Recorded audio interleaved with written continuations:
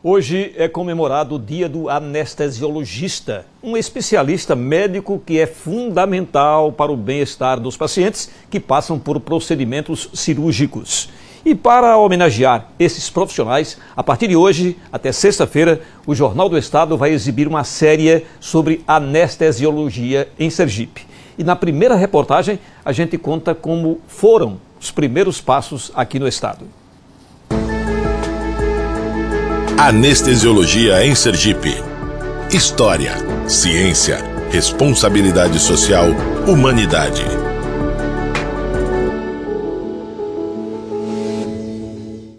Anestesiologia em Sergipe. História, ciência, responsabilidade social e humanidade. Nós estamos aqui diante de vários nomes que contribuíram para a história da Copa Neste aqui no nosso estado. São 35 anos dessa história. E nós vamos conversar com um nome importante também. É o atual presidente da Copa Neste aqui em Sergipe, que é o Dr. Allen Andrade. Como é para o senhor fazer parte também dessa contribuição ao lado de grandes nomes?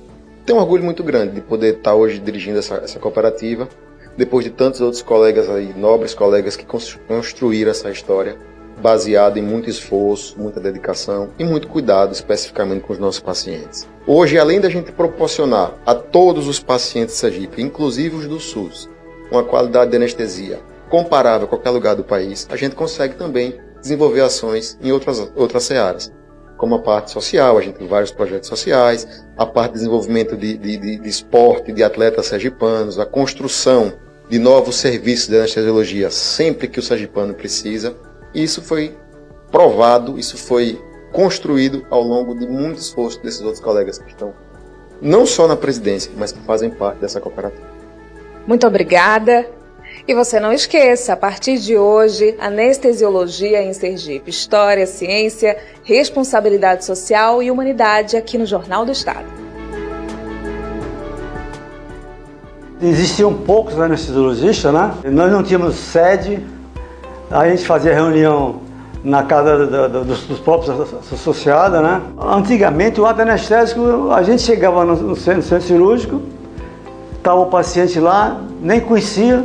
Hoje não, hoje o, o, o candidato à cirurgia vai para o consultório pré-anestésico, ele é avaliado. Na época que eu cheguei aqui, no hospital de cirurgia, por exemplo, tinha é, um sino de oxigênio, né? um aparelho de pressão o estetoscópio. Você não tem um recurso que você tem hoje, né?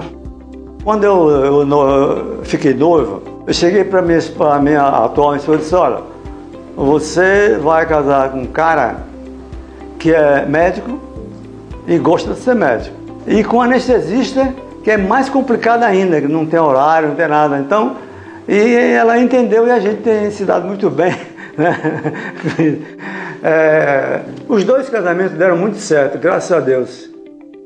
A sociedade e a cooperativa, eles estão muito bem assessorados, estão tá muito bem orientados, sempre orientando a turma mais nova, entendeu?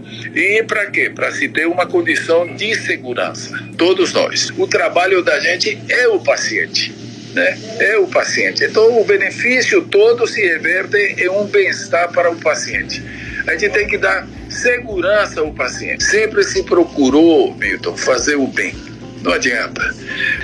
Trabalhar, procurar fazer o melhor, que reverte no paciente, né? Que reverte no paciente.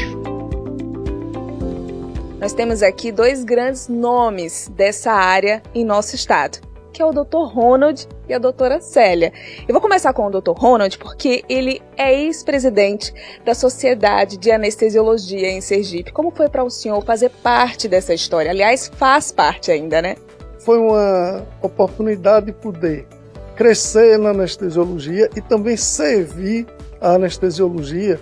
As mulheres tiveram um papel fundamental e a senhora fez parte disso também, né? Com certeza. E nós, praticamente, aqui em Sergipe, nós somos pioneiras, abrimos portas.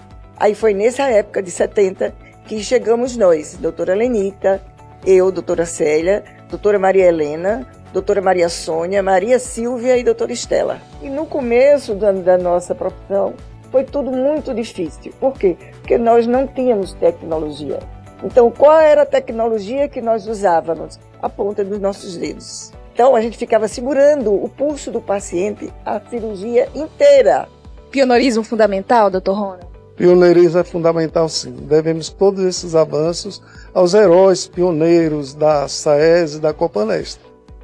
De ofício, eu, eu comecei a trabalhar em 1971. É uma vocação. Eu me sinto realizado. Eu acho que eu fiz minha profissão, que eu acho que todo médico tem que ter esses três princípios, que é conhecimento, arte e humanismo, porque eu acho que se um médico não tem esses três princípios, é um técnico de medicina. Eu acho que se eu não, que eu não, se eu nascesse de novo, eu seria anestesista. Foi meu, foi meu colega de trabalho. Ele veio trabalhar em Aracaju é, a meu convite. Morreu tragicamente, no plantão, fez um farto, né?